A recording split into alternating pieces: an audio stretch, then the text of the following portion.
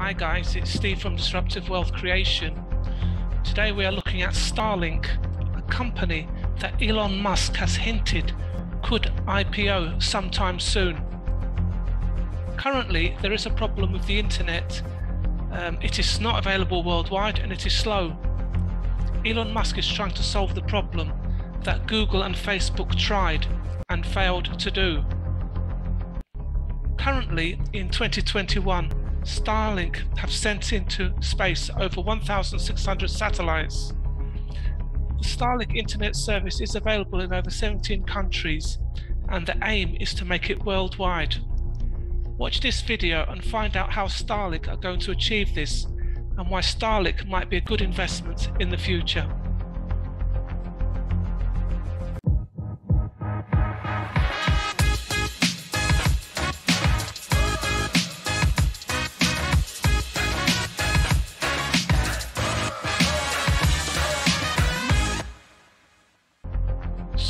What is the problem with cable and 5G that Musk needs to introduce Starlink? Well, the traditional satellite internet system is provided by a bus sized spacecraft that is over 2,000 miles in orbit in space. The problem is that one satellite cannot reach all of the people on Earth and that it has a limited data capability, limiting connections, speed, and causing buffering. So how does Starlink solve this problem? The first way is by having a total of 42,000 satellites circling the Earth. The reason you need so many is that people are on the move and you need satellites covering overhead the many users that need it. Secondly, with Starlink, satellites are much closer to the end user, between 200 and 400 miles. They also have laser beams connecting to each other, enabling you to get a really good signal to your pizza-sized dish that's got an antenna. So, what does that mean in practice? It means that if you are in a remote village in Africa or Latin America, you will be able to pick up a signal if you have a satellite dish with an antenna. But what does it mean for everyone else who already has internet?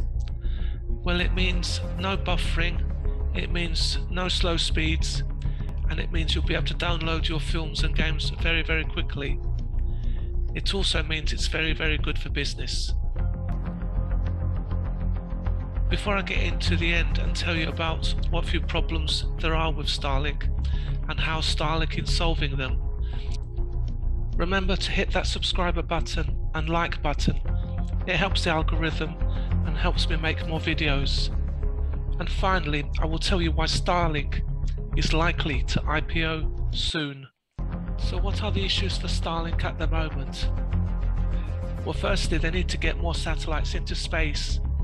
So they need to increase that from 1,600 satellites to 42,000 satellites. Currently, each Falcon rocket can take up to 60 satellites up into space. SpaceX is building a Starship that will allow up to 400 satellites to go up. The second problem Starlink has is with astronomers who say they cannot see the stars and planets because of the amount of uh, satellites in space. To deal with this problem, Starlink is painting all their satellites black. Thirdly, Elon Musk is very conscious of the amount of debris in space. The $300,000 satellites have two functions which alleviate this problem.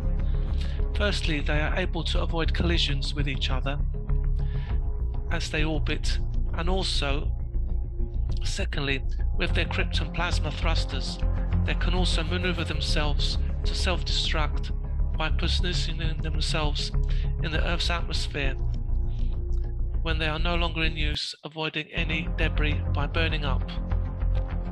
So finally, why is Starlink likely to IPO soon? Well, at the moment, there is a space war with China and Russia wanting to get to Mars first. With Starlink biting into the satellite trillion dollar industry, they will be able to help fund the SpaceX project, and that's why Elon Musk is pushing this for potential IPO in the future My question to you is if Starlink was to IPO, would you be interested? And secondly, would you pay $499 for a Starlink dish and $99 per month for Starlink? Thank you for watching and see you soon. Bye.